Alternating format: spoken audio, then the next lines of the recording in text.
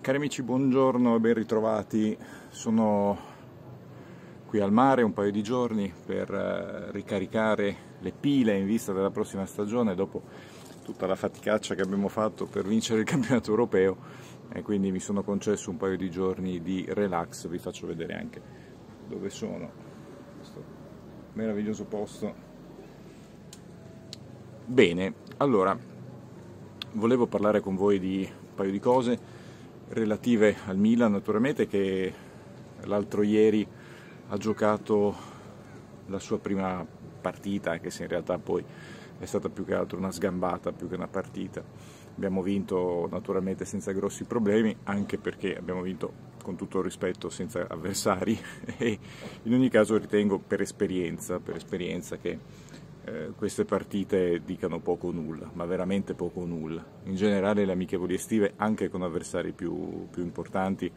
sono utili semplicemente per mettere minuti nelle gambe, per eh, forse anche fare delle valutazioni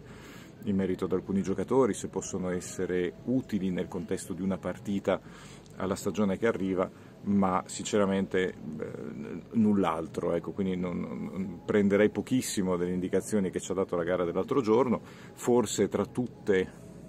l'unica mh, nota veramente interessante è il fatto che Pobega abbia giocato bene, anche nel centrocampo a due, e, e abbia anche dimostrato con le dichiarazioni post partita di voler rimanere al Milan, poi vedremo insomma quali saranno le scelte, sinceramente posso capire da un lato che ci sia la necessità anche di vendere qualcuno, perché fino a questo momento eh, abbiamo comprato, ma eh, al di là dei nostri amici che ci hanno salutati, salutato a parametro zero, eh, non abbiamo venduto praticamente nessuno e quindi c'è anche bisogno di vendere. È chiaro che non tutti i giocatori hanno mercato ed ecco perché eh, un giocatore come Pobega eh, può, può essere ceduto Dall'altro è un giocatore che io insomma, che, che, ritenevo interessante già due anni fa ai tempi del Pordenone, che eh, tutto sommato ha giocato nel complesso una buona stagione l'anno scorso,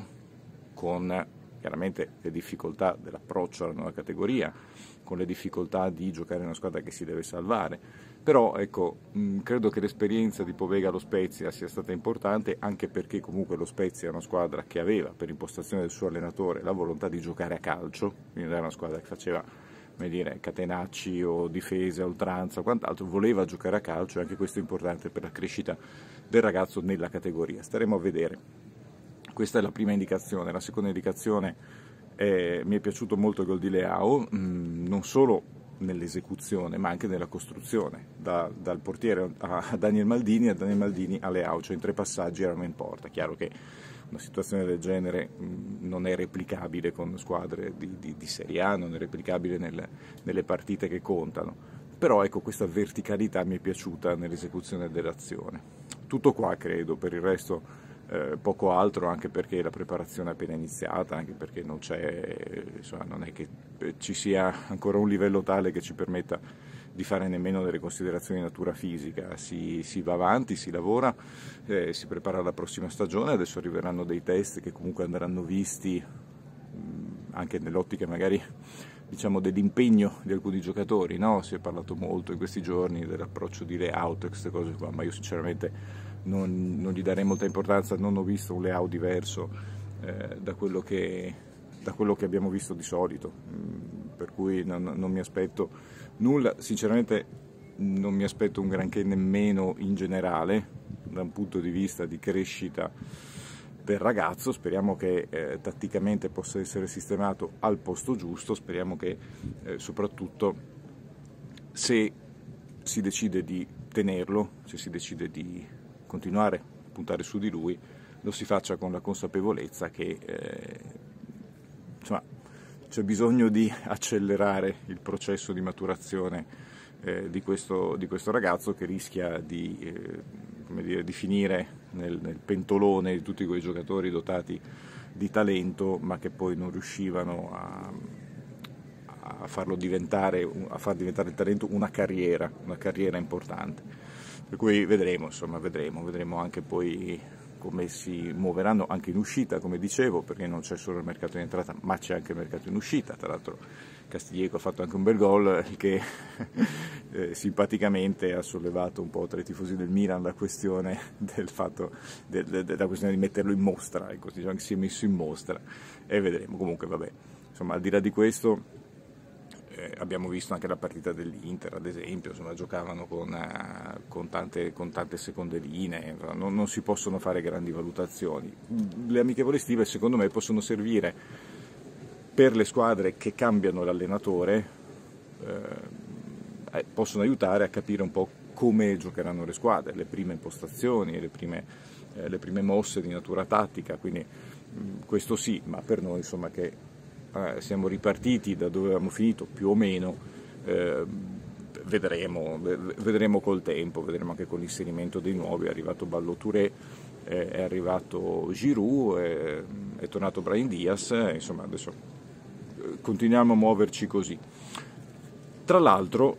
tra l'altro ho letto le dichiarazioni di Giroud e, e devo dire che eh, mi sono molto piaciute, mi sono molto piaciute non solo per eh, diciamo, lo, lo, spirito col quale è arrivato al Milan, che è sempre importante, ma anche per eh, dire, una certa spavalderia che sapete eh, a me tutto sommato non dispiace. Ora io eh, sono di natura una persona molto, mm, mm, molto razionale, quindi non mi lascio andare a slanci di entusiasmo non mi lascio andare generalmente nemmeno a slanci di pessimismo, valuto le situazioni. Però, però, siccome nel calcio, lo sapete meglio di me, serve anche un po' di, eh, un po di spavalderia, ecco, un po' di sbruffoneria. Non mi è per nulla dispiaciuta la dichiarazione di Giroud, eh, punto, voglio, voglio vincere lo scudetto, vogliamo vincere lo scudetto. Ecco, io apprezzo la politica del, del, del, del passo dopo passo, sicuramente. È giusta perché non si deve caricare di troppa pressione l'ambiente, eccetera, eccetera. No? Tutte le cose che sapete e che leggete tradizionalmente eh, sui giornali o nelle dichiarazioni dei nostri dirigenti, del nostro allenatore. Però ad un certo punto, arrivati a un certo punto, io trovo anche giusto che, come dire, il tifoso si sentisse dire mm, ci, ci, piacerebbe vincere, puntiamo a vincere, puntiamo a, perché eh, se continuiamo a dirci che dobbiamo puntare a migliorare, dobbiamo puntare a crescere, eccetera, eccetera, va benissimo, però ad un certo punto, come dire, l'ambizione va anche alimentata, cioè l'ambizione va anche un po' eh, spinta e, e, e, ci si deve anche un pochino lasciare andare. Naturalmente eh, ci deve essere la, la, consapevolezza che questo possa accadere. Ovviamente ogni riferimento alla nazionale di Mancini è puramente casuale, ma nel senso il fatto che lui, parlo del commissario tecnico, eh, sia arrivato in nazionale e abbia detto io voglio riportare l'Italia a vincere un torneo dopo tanti anni eccetera, beh insomma già uno, chiaro poi dopo se non l'avesse vinto eh, gli avremmo dato del cazzaro probabilmente, però il punto è che secondo me la mentalità vincente che porta questo tipo di giocatore, ecco perché io sono contento che sia arrivato Giroud, perché è un giocatore con la mentalità vincente, perché è uno che ha vinto, io credo che serva ehm, proprio perché la, la, la forma delle dichiarazioni possa passare dal eh, vogliamo crescere, vogliamo fare un passo in più, ci vogliamo confermare, eccetera, a vogliamo andare a vincere, vogliamo vincere il campionato, vogliamo essere, perlomeno, vogliamo essere protagoniste, protagonisti per la vittoria del campionato. Io credo che tra l'altro dal mio punto di vista non sarebbe nemmeno una, una balla colossale, nel senso che non, non, non, vedo per quale motivo il Milan che ha mh, consolidato buon, buonissima parte del gruppo dell'anno scorso che porta avanti un progetto serio con idee chiare, non vedo per quale motivo non possa ambire a vincere il campionato. Perché no? Io credo che questa squadra possa farlo, poi dopo che ci riesca è un altro discorso naturalmente, però non vedo nessun motivo che ci porti a pensare di essere in questo momento inferiori ad altre squadre, inferiori alla Roma, al Napoli, eh, alla Lazio, eh, diciamo vedremo poi anche il mercato delle altre, ecco, forse nemmeno, nemmeno, tanto inferiore alla Juventus, detto tra di noi, eh? perché insomma l'anno scorso, adesso non, non, so che mercato faranno, ma bene o male sono, sono quelli dell'anno scorso, anche loro, no? ecco, quindi Allegri che è sicuramente più esperto, più tutto rispetto a Pirlo, però non è che sia uno con la bacchetta magica, quindi vedremo che cosa succederà. Ecco, io credo che ragionevolmente possiamo pensare che il Milan farà un torneo importante perché c'è una campagna acquisti, ripeto, sensata, una campagna acquisti intelligente fatta con eh, lo scopo di portare anche al Milan giocatori con questo tipo di mentalità. Ecco, mm, mi piace questa idea di poter pensare ad un Milan vincente. Vi saluto, torno al mare, buona giornata a tutti, alla prossima.